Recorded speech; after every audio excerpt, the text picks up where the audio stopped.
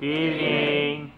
As you may know, uh, I spend 50%, almost 50% of most of my days doing CrossFit.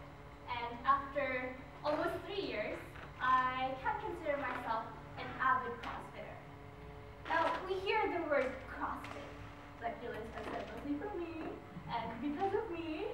but the first thing that pops into our minds when we hear CrossFit is, sure, it's a form of, it's a form of exercise, and yes, it's done in the gym. But just like any other sport, just like any other program, it was founded, and it does carry its own foundations.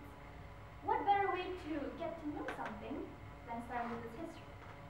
While Toastmasters was founded by Ralph C. Smedley, CrossFit and the entire fitness regimen was developed by Greg Glassman in the year 2000.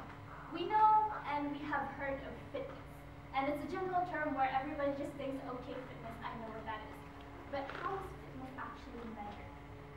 Greg Glassman in, two, in the year 2000 has redefined fitness in a much more measurable way. And he has come up with a program that aims to improve health and overall fitness. When you come into a CrossFit gym and you start doing a workout, there are three fundamental things that you can always look forward to seeing in a workout. And that the workout always, is always constantly varied. It is fun it has functional movements and it is always performed at a high intensity. What does that mean? In every CrossFit, in every workout that CrossFit has, it is constantly varied in such a way that you are never good at only one thing. You can expect to come in a CrossFit gym and see you working on your cardio, working on your weightlifting skills, and working on your gymnastics. Why is this so?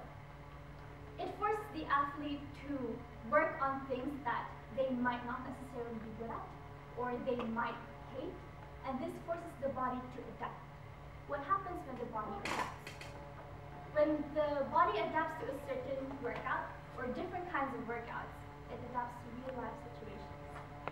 We can never be, ever be ready for any real life situations that life throws to us. So when the body trains to adapt to different workouts, it trains to adapt to different life situations. So if there was ever a situation where you're thrown and you have to use your physical abilities, CrossFit is there. And in CrossFit, we do functional movements. And what does that mean?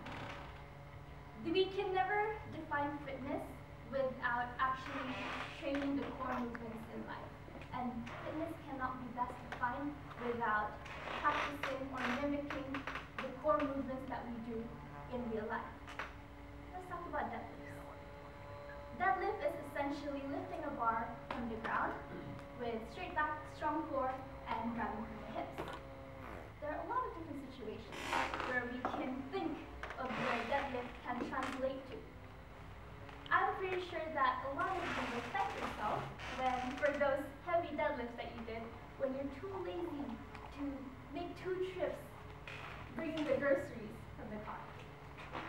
And then there are the overhead movements. Overhead movements is basically the bar path, the bar's path moves from your shoulders to the overhead. And for someone who's about only five feet tall, most things are taller than.